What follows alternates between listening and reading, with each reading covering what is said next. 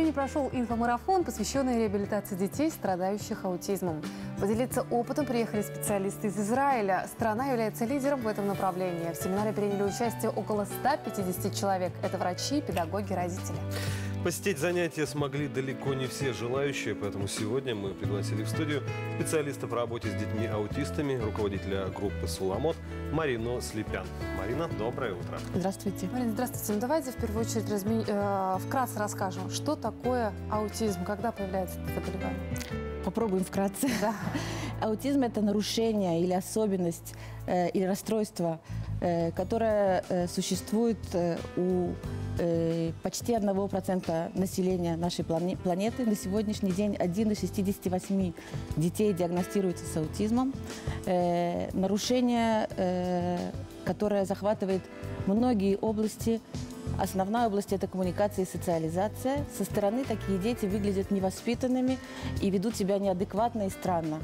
Но, конечно, это не вопрос плохого воспитания, а это именно э, объективные причины, по которым они так себя ведут. Существует большое количество методов коррекции аутизма. А, вот э, один из самых популярных в мире – это авотерапия или прикладной анализ поведения. Вот в чем преимущество вот такой терапии? Дело в том, что э, для того, чтобы найти э, общий язык с нашими детьми, необходимо владеть определенными методиками и инструментами. Представьте себе прекрасный логопед, который может поставить звуки буквально любому ребенку, и к нему попадает ребенок с аутизмом. Он начинает с ним работать, а ребенок с аутизмом не реагирует на него. Вообще э, никакого сотрудничества. Для того, чтобы найти общий язык с таким ребенком, ему необходимы определенные инструменты. ABA или аботерапия, то, что вы говорите, это и есть такой инструмент, который позволяет, который основывается на законы поведения. Э, мы все живем по этим законам, знаем мы этого или нет, и который использует эти законы для того, чтобы найти общий язык с детьми с аутизмом. А, Но в результате этого действительно ли можно ребенка вернуть вот в нормальную обычную школу, сделать его таким, как, ну, не все, но чтобы он не был э, каким-то особенным, да, белой вороной в обществе?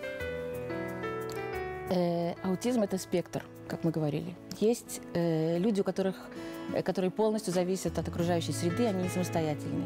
Есть люди, которые пришли к э, взрослой самостоятельной жизни.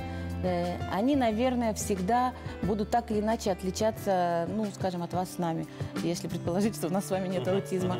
Э, у них, наверное, будут некоторые странности в поведении. Они, может быть, будут слишком наивными, они, может быть, не будут понимать тех или иных шуток.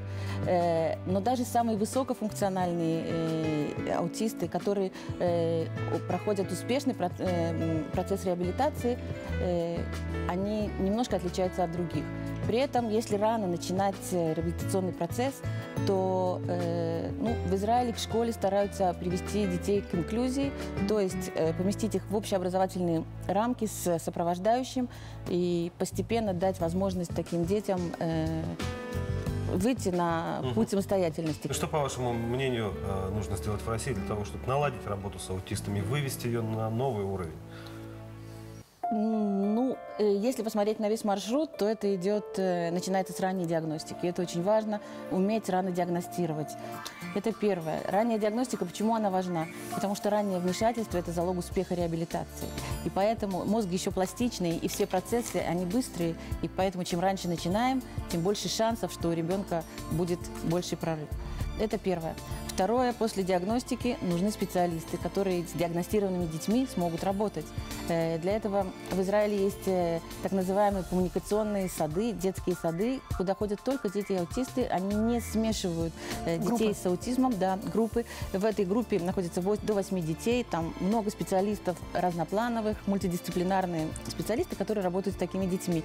Они не смешаны с другими детьми. Почему? Именно потому, что я с самого начала говорила, у них совсем другие цели и задачи. Ребенок, например, даун, у не- он очень социализирован, а у наши дети основная проблема это коммуникация, социализация и найти к ним подход. Следующий этап – это школа. Э, Это может быть или коррекционные школы, или инклюзия в том или ином, есть разные модели. После этого, э, когда уже люди вырастают, э, это уже зависит каждый э, от своего уровня, э, есть, во-первых, программы высшего образования. То есть есть программы, поддерживающие в университетах для таких ребят, которым все-таки нужна помощь, несмотря на то, что они могут учиться в университете. Есть у нас подразделение в армии, которое использует особенности мышления аутистов, и эти ребята э, служат в разведке. Даже в армии. Да, в армии.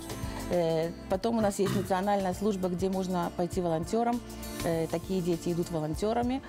И третий вариант, э, менее самостоятельных э, ребят, есть различные программы для трудоустройства и различные хостели, где живут такие ребята, естественно, с- со специалистами, и целый день они находятся, ну, это даже не интернат, потому что можно из него выходить, но они там, в принципе, живут, и какую-то часть времени они проводят самостоятельно, какую-то часть времени есть какое-то трудоустройство, вот мастерские. После, Да, я думаю, вы сейчас приободрили многих родителей, дали им надежду какую-то. и сразу же вот после вашей беседы у меня, как у мамы, например, создалось ощущение, что аутизм-то это не приговор, как э, чаще всего стереотипно размышляют очень многие в нашей стране. Спасибо вам большое, Спасибо. Марина. Удачи вам в вашей работе. Спасибо вам.